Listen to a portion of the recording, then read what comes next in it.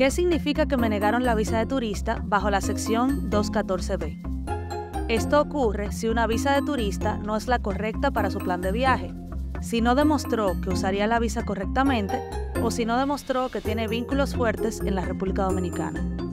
Esta última razón depende de su situación actual y no hay un criterio único que deba presentar para demostrar lazos fuertes.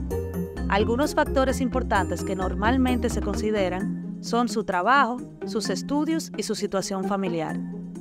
Cuando solicita una visa de turista, debe demostrar que sus intenciones son solo ir de paseo, que no participará en actividades de trabajo remuneradas para las cuales no está autorizado en los Estados Unidos y que regresará al país luego de su estadía.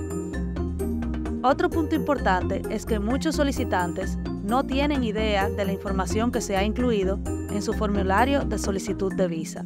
Muchas personas utilizan los servicios de abogados y agencias migratorias para llenar este formulario y al momento de la entrevista sucede que la información relativa a su familia, su trabajo, sus planes de viaje, inconvenientes anteriores con la justicia y demás está incorrecta incompleta o no concuerda con las respuestas que el mismo solicitante da al oficial consular. Este es un caso bastante común por el cual muchas personas son rechazadas al momento de su entrevista. Si vuelve a solicitar, revise cuidadosamente su formulario antes de enviarlo. De esta manera entenderemos mejor cuál es su situación actual y cuáles son las razones por las que desea viajar a los Estados Unidos. En conclusión, usted es el único responsable de mostrarnos si en realidad califica para la visa de turista.